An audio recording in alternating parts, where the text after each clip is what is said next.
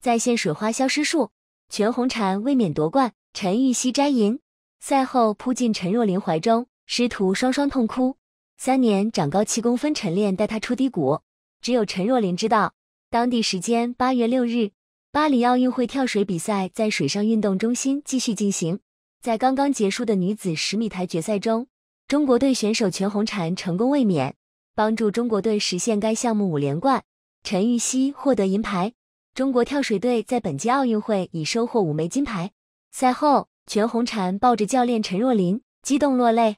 北京时间八月六日晚，巴黎奥运会跳水女子十米台决赛在巴黎水上运动中心进行。中国队全红婵以总分四百二十五点六分的成绩获得金牌，中国队陈芋汐获得银牌，全红婵成功卫冕。这是中国体育代表团在巴黎奥运会获得的第二十二枚金牌。女子十米跳台比赛。共有十二名选手晋级决赛，中国队全红婵和陈芋汐参赛。两名选手在此前的预赛和半决赛中包揽一二名，顺利晋级决赛。决赛每名选手进行五跳，根据半决赛成绩，全红婵第十二位出场，陈芋汐第十一位出场。第一跳，全红婵丝滑入水，水花消失术在线赛场，全部裁判给出十分，得分九十分，全场欢呼。第二跳，全红婵再度出色发挥。拿到八十四点八分，总分排名第一。第三跳，全红婵出现小失误，得分七十六点八。陈芋汐得分八十九点一分，总分排名全红婵第一，陈芋汐第二。第四跳，全红婵和陈芋汐都选择了二零七 C 动作，全红婵拿到九十二点四分，陈芋汐八十九点一分。最后一跳，两人选择再度相同，都跳了五千二百五十三 B，两人都获得了八十一点六分，最终。全红婵以总分四百二十五点六分的成绩获得金牌，成功卫冕。陈芋汐以总分四百二十点七分获得银牌。朝鲜队选手金基燕以总分三百七十二点一分的成绩获得铜牌。全红婵获得的这枚金牌是中国跳水队巴黎奥运会获得的第五枚金牌。全红婵也成为继伏明霞、陈若琳后又一位至少两次获得奥运会女子十米台冠军的中国选手。中国队在该项目已实现五连冠。此前。全红婵和陈芋汐参加巴黎奥运会女子双人十米跳台比赛，夺得金牌。赛后，陈芋汐一个袋鼠抱将全红婵抱在怀里，一路抱着离场，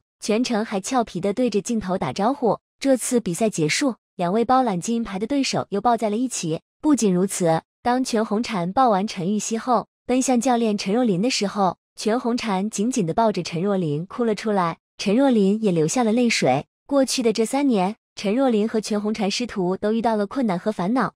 全红婵因为身体发育，导致她的动作无法达到之前的效果。她长高了七公分，体重也增加了，多次跳二零七 C 时出现失误，是陈若琳一点一点帮助她分析技术细节，重新找回了当初的跳水感觉。因此，在本次巴黎奥运会上，全红婵能够再次上演水花消失术。值得一提的是，全红婵打破了前辈伏明霞的记录。以十七岁一百三十一天成为中国奥运历史上最年轻的三金王。上一个在这个项目奥运会卫冕的正是他的教练陈若琳，那还是自二零一二年伦敦奥运会上。本届奥运会，陈若琳作为教练带领全红婵拿到了两枚金牌，教练生涯取得辉煌的开局。对此，网友们纷纷表示，只有他跟陈练知道这个周期挺过来是多么的艰难。恭喜全妹卫冕，婵宝能挺过这个周期不容易，乐乐也是好棒。为什么不能有两块金牌？确实不容易。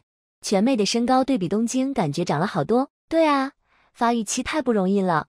这三年也从没有下过四百分，都是努力的结果。陈若琳不仅是一位出色的教练，更是一位曾经的五金王，在运动员时期便已创造了辉煌的历史。退役后，他将全部的精力投入到培养新一代跳水运动员中，全红婵便是其中最为杰出的一位。陈若琳以其丰富的经验和精湛的技术，为全红婵的成长提供了坚实的基础和支持。在训练场上，陈若琳是严格的教练；而在场下，她则是全红婵最亲密的朋友和支持者。有一次，全红婵在训练中不慎受伤，陈若琳立刻冲上前去，不顾一切地将她抱起，眼中的担忧与心疼溢于言表。之后的日子里，陈若琳更是日夜陪伴在全红婵身边，确保她的康复。正是这样无微不至的关怀，让全红婵感受到了前所未有的温暖和支持。随着时间的推移，全红婵逐渐在赛场上崭露头角，甚至有了超越师傅的趋势。但陈若琳对此毫不介意，